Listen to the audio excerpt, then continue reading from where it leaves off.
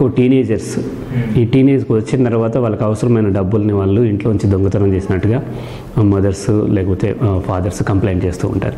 మా ఇంట్లో ఎవరు ఇట్లాంటిది లేదు ఇంట వంట లేదు కానీ ఈ పిల్లడికి దొంగతనం అలవాటైంది అని కంప్లైంట్ చేస్తూ ఉంటారు. మనం చాలా నిశ్చితంగా గమనించినట్లయితే అది దొంగతనమా? లేకపోతే వాళ్ళ యొక్క అండర్స్టాండింగ్ లెవెల్ అనేది మనం చాలా జాగ్రత్తగా గమనించాలి.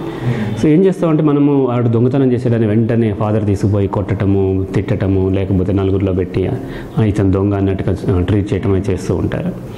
ఇప్పుడు ఏమైందంటే మనీ అనేది మనము ఏదైనా ఒక వస్తువును కొనుక్కోవడానికి డబ్బును ఉపయోగిస్తాం. ఏదైనా వస్తువుని తినుబండారాలో ఏదో ఒకటి ఆ టీనేజర్కి కూడా మనీ తను కొనుక్కోవడానికి వినియోగిస్తూ ఉంటారు. అయితే ఇక్కడ మనీని మనం ఇంట్లో పెట్టినప్పుడు రకరకాల అవసరాల కోసం మనం మనీని పెడతాం. ఒకటి నిత్య అవసరాల కోసము లేకపోతే సేవింగ్స్ కోసము లేకపోతే ఎంటర్టైన్మెంట్ కోసం కొంత డబ్బు ఖర్చు పెడుతూ ఉంటాము. కొంత ఆరోగ్యం కోసం ఖర్చు పెడుతుంటాము ఇట్లా రకరకాల ప్రయారిటీస్ ఉంటాయి. దేనికి ఎంత ఉంచాలి ఏంటనేటువంటి ప్రయారిటీస్ ఉంటాయి అన్నమాట ఇది పేరెంట్స్కి తెలుసు. ఇదే ఇప్పుడు ఏమవుతుందంటే చాలా ఒక షాప్ ఉందనుకుందాం. ఆ షాప్లో క్యాష్ చాలా నడుస్తూ ఉంటుంది. నడుస్తున్నప్పుడు చాలా డబ్బు వస్తూ ఉంటుంది పోతూ ఉంటుంది. మళ్ళీ వీళ్ళు సరుకు తెస్తారు మళ్ళీ డబ్బు వస్తూ ఉంటుంది. ఈ వచ్చే డబ్బు మొత్తం కూడా ప్రాఫిట్ కాదు. సో ఈ డబ్బులో ఏదో ఒక ఫైవ్ పర్సెంటో టెన్ పర్సెంటో ప్రాఫిట్ ఉంటుంది. కానీ చూసే వాళ్ళకి ఎలా ఉంటుందంటే ఇంత ఇంత క్యాష్ ఇక్కడ రొటేట్ అవుతుంది అనేది కనిపిస్తూ ఉంటుంది.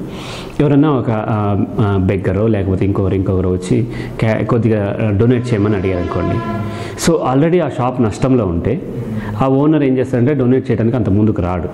ఏదో చిన్న చిన్న అమౌంట్లు అంటే ఓకే. ఏదన్నా ఒక ఆశ్రమానికి డొనేట్ చేయమని ఎవరన్నా వచ్చారు ఒక పదివేలు.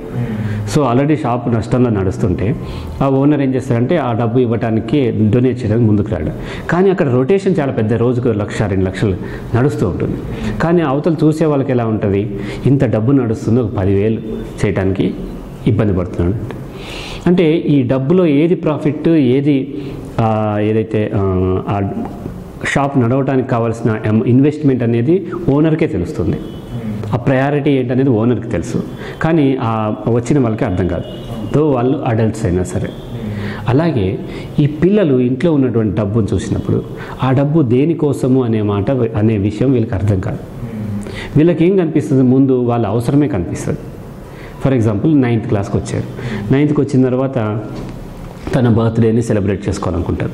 తన ఫ్రెండ్స్ ఎవరో బ్రహ్మాండంగా వెళ్ళి పిజ్జా హట్లోనో లేకపోతే ఇంకో దగ్గర బిర్యానీలో లేకపోతే వేరే కేక్లో ఏవో ఒకటి కొనుక్కొని తిని ఎంజాయ్ చేసి వస్తారు. సో ఒక నాలుగు వేలు ఐదు వేలు వాళ్ళ ఫ్రెండ్ ఎవరో ఖర్చు పెట్టారు.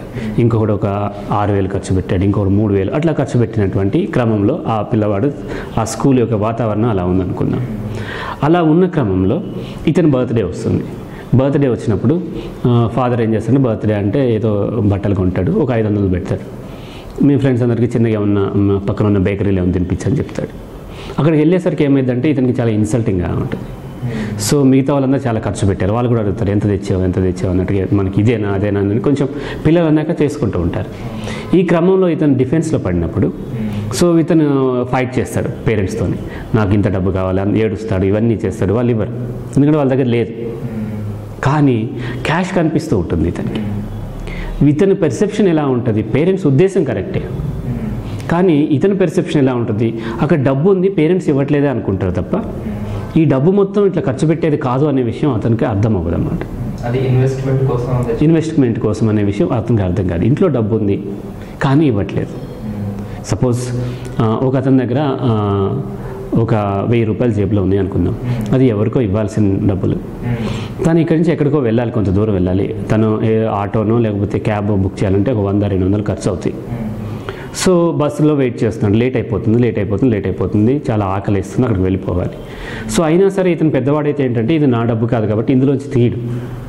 తన డబ్బు ఏదో పది రూపాయలు ఇరవై రూపాయలు ఉంటే బస్సు వచ్చేదాకా వెయిట్ చేసి బస్సు ఎక్కి తను వెళ్తాడు.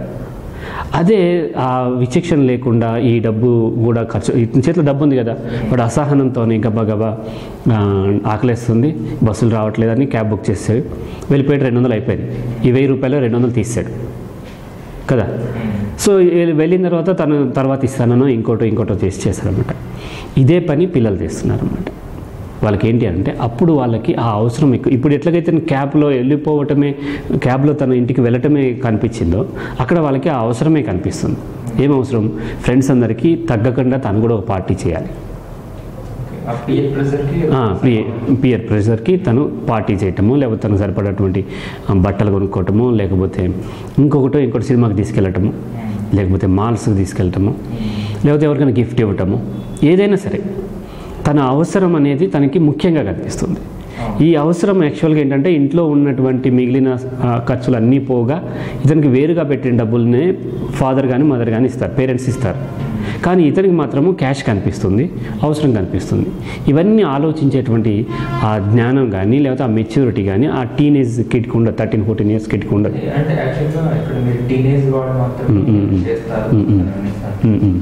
అంటే యాక్చువల్గా ఇక్కడ మీరు టీనేజ్ వాళ్ళు మాత్రం మ్మ్, మ్మ్. చేస్తారు మ్మ్, మ్మ్. అని అనేసారు. ఉమ్, ఉమ్. కానీ యాక్చువల్గా మనం అబ్జర్వ్ చేసినట్టయితే కిడ్స్ ఎవరైతే చిన్నపిల్లలు ఉన్నారో. వాళ్ళకి ఆ దొంగతనం చేసే కోరిక ఎక్కువ ఉంటుంది మీరు అబ్జర్వ్ చేస్తే. ఆ పిల్లలు చిన్నప్పుడే పక్కింట్లో దగ్గర పెన్సిల్స్ కానీ చిన్న చిన్న రబ్బర్స్ కానీ ప్రతి పిల్లవాడు మనం అబ్జర్వ్ చేస్తే ఏదో ఒక చిన్న కిట్. ఏదో ఒకటి తీసుకొచ్చేసి దొంగతనం చేసిన వాడే ఒక. రబ్బర్ ఒక పెన్సిల్. వాళ్ళ యొక్క అన్న కీ చైన్. ఏదైతే బ్యూటిఫుల్గా వాడికి కనిపిస్తుందో అది వాడి దగ్గర వేరే వాళ్ళదైనా వేరే వాళ్ళదని తెలిసినా. అది నాకు కావాలి అన్న ఒక. స్వార్థపూరితమైన. భావనతో తెచ్చేసే ఒక రకమైన. పిల్లలకి ఉంటుంది అది ఉంటుంది. ఇది- కొంచెం. పెద్ద అయిన తర్వాత ఎప్పుడైతే అది అలా చేసి ఒకసారి ఎప్పుడైనా దొరికిపోయినప్పుడు. ఎవరైనా వాళ్ళని ఇన్సల్ట్ చేసి మాట్లాడినప్పుడు hmm, చేస్తున్నావు అని ఇన్సల్ట్ చేసినప్పుడు వాళ్ళు రియలైజ్ అవుతారు. రియలైజ్ అయ్యి అలాంటి పనులు చేయడం మానేస్తారు. ఆ కిడ్స్ ఆ ట్రాన్స్ఫర్మేషన్ ఉంటుంది. స్టేజ్ నుంచి కొంచెం అడల్ట్ టీనేజ్ స్టేజ్ వచ్చేసరికి సో ఈ ట్రాన్స్ఫర్మేషన్ అనేది జరగని పిల్లలు ఇలాంటి దానికి పాల్పడతారు అనేసి మేము ఆహా, అట్లా కాదు సో త్రీ ఫోర్ ఇయర్స్ అప్పుడు వాళ్ళకి ఏంటంటే సెల్ఫ్ సెంట్రిక్ ఎక్కువ ఉంటారు. నాది నాది మా అమ్మ మా అన్న మా తమ్ముడు. ఎవరన్నా వాళ్ళ అమ్మని హక్ చేసుకుంటూ వెళ్తే వీళ్ళు తట్టుకోలేరు. ఫాదర్ని హక్ చేసుకుంటూ వెళ్ళి తట్టుకోలేరు. అట్లాగే నా బుక్ నా పెన్సిల్ నాది అనేది ఎక్కువ ఉంటుందన్నమాట. ఆ నాది అనే క్రమంలో వాళ్ళకి నాది ఏదో పరాయి వాళ్ళది ఏదో తెలియక వాళ్ళు ఏది దొరికిందో దాన్ని తెచ్చేసుకుంటారు. పక్కింటికి వెళ్ళిన బొమ్మలు తెచ్చేసుకుంటారు పెన్సిల్ తెచ్చేసుకుంటారు ఇవన్నీ తెచ్చేసుకుంటారు. ఇది యాక్చువల్గా దొంగతనం కాదు. అంటే ఇది ఆ వస్తువు నాది కాదు నాకు హక్కు లేదు అని తెలియనితనం అది. తెలియనితనం వల్ల వాళ్ళు తెచ్చేసుకుంటారు. తెచ్చేసుకున్నప్పుడు చెప్తూ ఉంటాం మనం మెల్లమెల్లగా పేరెంట్స్ చెప్తుంటారు ఇది వాళ్ళది వాళ్ళకి ఇచ్చేయాలి ఆ పిల్ల ఏడుస్తుంది. అయినా సరే వీళ్ళు ఏడుస్తుంటారు నాకు కావాలి నాకు కావాలి. నా పిల్లదైనా సరే కొంచెం ఉంచమ్మా. తర్వాత తెలియకుండా చెప్పరు. చెప్పరు. ఎందుకంటే వాళ్ళకి అది తనదే అనుకుంటూ ఉంటాడు తనకి హక్కు ఉంది అనుకుంటాడు అంటే ఇప్పుడు కిడ్స్ అనే వాళ్ళు ఏంటి అని అంటే పిల్లలు స్మాల్ అడల్ట్స్ కాదు. వాళ్ళు కిడ్స్. వాళ్ళ ప్రపంచం అప్పుడే తెలుస్తుంది. ప్రపంచంలో నాది ఒక వస్తువు ఉంటుంది అతనిది ఒక వస్తువు ఉంటుంది అనే విషయం తెలియదు. తెలియక ఏం చేస్తారంటే అన్నీ నాకు కావాలి. అప్పుడు మనం ఏమంటారంటే అది ఈద్ ఇంపల్సెస్ ఎక్కువ ఉంటాయి ఇప్పుడు సిక్స్ ఇయర్స్ దాకా. ప్లెజరే కావాలి తనకి. ఈ ప్లెజర్ కావాలన్న దాంట్లో వస్తువులు కూడా అన్నీ నాకు కావాలి అనే దాంతో తనకు నచ్చిన ప్రతిదాన్ని తెచ్చేసుకుంటాడు. తెచ్చేసుకున్న తర్వాత కూడా ఇది నాది కాదు వాళ్ళదని ఇచ్చేస్తుంటే కూడా ఈ పిల్లోడు ఏడుస్తూ ఉంటాడు. అప్పుడు మదర్ ఏం చేస్తానో కొంచెం ఆడుకున్న తర్వాత అతను నిద్రపోయిన తర్వాత తెచ్చిస్తానని ఆ పిల్లని అవతల ఉన్నటువంటి పిల్లని బుజ్జగిస్తూ ఉంటుందన్నమాట. ఇది యాక్చువల్ దొంగతనం కాదు. దొంగతనం కాదు కాకపోతే ఇది స్టార్టింగ్ స్టేజ్ స్టార్టింగ్ స్టేజ్ అసలు ఇది దొంగతనం కాదు? యాక్చువల్గా అది దొంగతనం కాదు. పేరెంట్స్ దీన్ని దొంగతనంగా ట్రీట్ చేయకూడదు. ఇది వాళ్ళకి నేర్చుకునే క్రమంలో తనదేదో బయటదేదో తెలియజేసే స్టేజ్ అది. ఆ స్టేజ్లో మనము ఇది వాళ్ళది వాళ్ళకి చెందింది వాళ్ళతోనే ఉంటుంది మనకి చెందింది మన మనదే ఉంటుంది. మనం కొంచెం వాళ్ళకి ఇస్తే వాళ్ళు కూడా మనకి ఇస్తారు అనేది ఈ ఫైవ్ సిక్స్ ఇయర్స్ ఏజ్కి తనకి డెవలప్ అవుతుంది. ఆ తర్వాత టీనేజ్కి వచ్చేసరికి ఐడెంటిటీ క్రైసిస్ ఉంటుంది. ఐడెంటిటీ వర్సెస్ రోల్ కన్ఫ్యూజన్ అక్కడ స్థితి వేరు. అక్కడేమో ఆ జ్ఞానం డెవలప్ కాలేదు. తర్వాత డెవలప్ అయింది. ఇక్కడ టీనేజ్కి వచ్చేసరికి ఐడెంటిటీ వర్సెస్ రోల్ కన్ఫ్యూజన్లో ఎక్కడ తనకి రికగ్నైజేషన్ రాకుండా పోతుంది? మిగతా వాళ్ళందరికీ వస్తుంది. మిగతా వాళ్ళందరూ ఖర్చు పెట్టినా నేను తక్కువ అయిపోతున్నాను. అనేటువంటి భయంతో తను ఏం చేస్తాడంటే ప్రయారిటీ తెలుసుకోలేక ఆ పేరెంట్స్ దగ్గర ఉన్నటువంటి ఇంట్లో ఉన్నటువంటి క్యాష్ ఏదైతే ఉందో పేరెంట్స్ వద్దంటారని అతను ఏమనుకుంటాడంటే ఉంది కానీ ఇవ్వట్లేదు అనుకుంటాడు.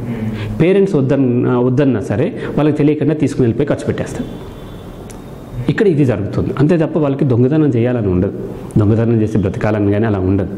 అయితే ఏంటి అని అంటే అక్కడ కనిపిస్తున్నటువంటి క్యాష్ అది ఈవెన్ పేరెంట్స్ దగ్గరే కాదు ఇంటికి అంకుల్ వస్తాడు. అంకుల్ పర్సులో డబ్బులు ఉంటాయి. డబ్బులు ఉన్నాయి కదా డబ్బులు తీసుకెళ్ళి ముందు తన ముందు తన ప్రయారిటీ ఇంపార్టెంట్. తన ఐడెంటిటీ తక్కువ అయిపోకూడదు వాళ్ళకంటూ ఒక రకమైన ఐడెంటిటీ సాటిస్ఫై సాటిస్ఫై చేసుకుంటానికి. వన్ ఐడెంటిటీ క్రైసిస్ని సాటిస్ఫై చేసుకుంటానికి. టూ ఏంటంటే ఆ ఉన్న మనీ దేని పర్పస్ ఏంటి అనేది వీళ్ళకి తెలియదు. చెప్పినా సరే వెంటనే అర్థం చేసుకునే స్థితిలో ఉండరు.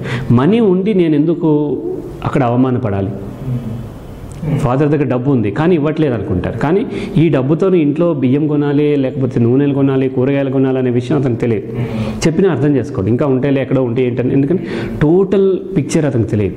ఫైనాన్షియల్ పొజిషన్ ఆ పిల్లలకి తెలియదు.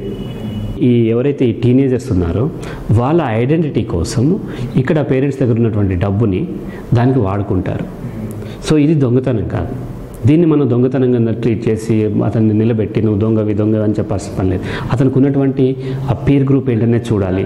వాళ్ళ నీడ్స్ ఏంటని చూడాలి. దానికి సరిపడా ఫైనాన్స్ చేయాలి లేకపోతే పీర్ గ్రూప్ని మార్చేటువంటి ప్రయత్నం చేయాల్సి ఉంటుంది. ఎప్పుడైతే మనం దొంగ దొంగ అంటున్నామో ఇంకా అతనికి కుచించుకుపోయి అదే పని మళ్ళీ మళ్ళీ చేస్తూ పెద్ద అయిన తర్వాత కూడా అది కంటిన్యూ చేసే అవకాశాలు.